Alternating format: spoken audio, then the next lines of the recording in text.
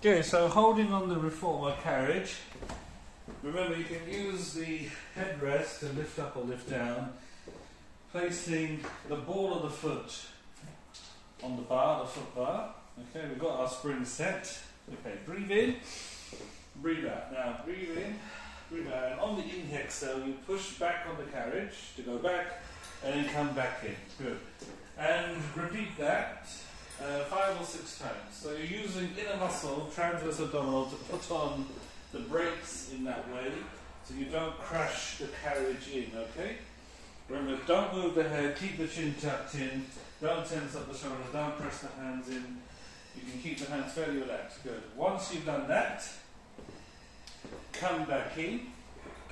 Tabletop position, the right leg. Breathe in to go back. When you come in, extend the leg ahead of you, just above the foot bar, and back. Good.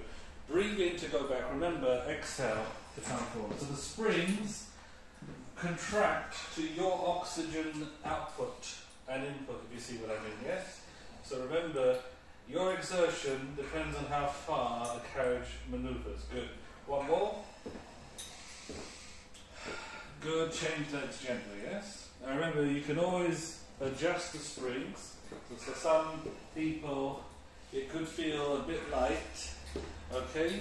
But in reformer exercises, remember, some motions will feel much more challenging and much more tougher with lighter spring load. Sometimes heavier spring load is not the way forward to give yourself a challenge. On certain movements like a warm up, it is. Good. One more. Good and back. Uh, now place the feet back onto the foot carriage, on sorry, the foot bar. Breathe in, push back, hold, and now marching feet, walking feet, yeah? Now again, you can pick up the pace if you wish, and if you have a ring, you hold the ring, and we use the ring to manipulate the exercise to give you a better experience. And you can squeeze the ring while doing your foot positioning. You've got to really push the heel back and forth, bend the knee, keep the chin tucked in, keep the breath flowing. You can squeeze the ring, you can hold it squeeze, bring it to the chest, to the ceiling simultaneously. So you're going with the flow in that way. You can pulse it a few times. There's variations you can do in a warm up. This is to get the body overall for the preparation of exercise ahead. Good. You can also take the ring over you and come in with your foot position. Now remember, you can also go for the brisk walk, obviously the quicker walking motion, even with the arms, but you go at your own pace. So concentrate always on yourself. Okay? Good. I'll take one more repetition and relax. Bring the carriage back in, remember, gently. You can hold on to the ring, it's fine you've got it. Place the heels on the edge of the foot bar in a sort of 10 o'clock, 2 o'clock angle, so got a bit of width, okay? Okay, lift your toes towards you. Now breathe in, push back, hold. This inner thigh stretch now, yeah? So that was a bit of the hamstring and calf. Good, and then come back in slowly. Good. Remember those brakes. Good, and again, push back. This inner thigh contraction. I don't mind you holding the ring or squeezing it, whatever takes your preference. Good. And back. Now, on this one, go back and then come in halfway hold. So you'll feel the tension more along that inner thigh area. Remember, the feet are still turned out, your chin tucked in. Don't tense up the shoulders. Good. And then push back out. One more. And on this one, we come in, and for a bit of variation, what we do, we keep the width for the legs and we just pulse back and forth, moving the carriage very gently back and forth. Okay? Very gently.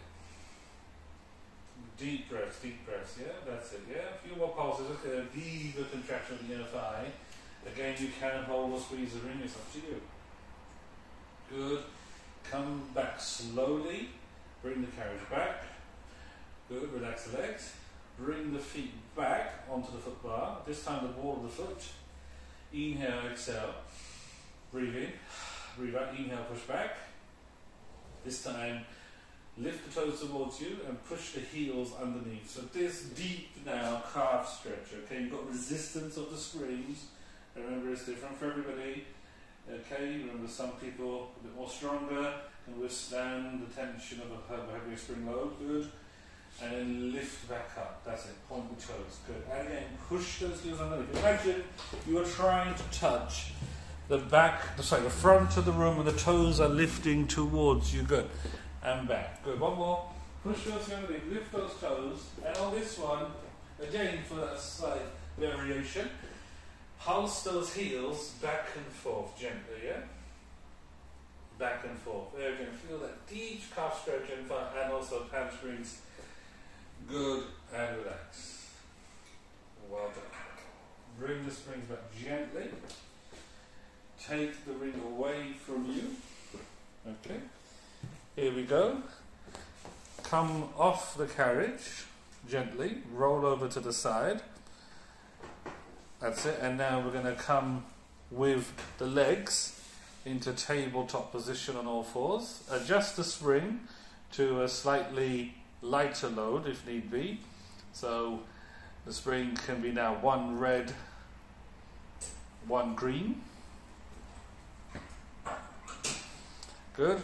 And then come into a tabletop position and the hands on the foot bar. Good. Make sure the feet go up against the shoulder pads. You've got relaxed shoulders, okay? You're looking towards the spring coils. Breathe in Breathe in. Now breathe in, push yourself back and lengthen away and feel the stretch deep out. Deep breaths. Yeah, it's a bit heavy. So if it's a bit heavy, no problem. We can adjust it gently. And then we breathe in and we push back. Inhale to go back and feel that deep stretch. You will slow, come down gently. We don't want to throw your head down. Yeah, of course, if your hair is long, make sure it doesn't throw down. Good. And back. Now, one more, push back and hold. Good. That's it. Feel the length of the body. This opens up the entire spine. Lower back too. Good. And then come back in. Now we can go a bit further. You breathe in. And when you go back halfway, you come into the plank position by lifting off. There you go. And you feel the whole plank position and your resistance and your breath flow, watch the shoulder tension good. You bring the carriage back halfway and then lower the knees and then come back in. And remember the foot bar can be adjusted as well if it needs to be closer to you. This time come back into the plank. You go back halfway, so you don't just take off immediately. You go back halfway, hold, and then, if comfortable, just move the carriage back and forth very slowly and keeping the spine level. Remember the breath. Now you don't have to do too many repetitions here. Okay, three or four is enough. Good. And then if you're feeling strong, you can come into a push up. By coming to the chest to the, the bar and up. You breathe in, breathe out, yeah? So these are the variations of exercises that I would use by building it up. I wouldn't do this automatically, but I would build up to something like this to bring the exercise better. Good. And then bring the knees down and then come back in child's pose. You can use the, the stretch of the child's pose by using the foot bar to hold on to to give yourselves that length. Good. Very gently now. Come back up to the tabletop position as you were.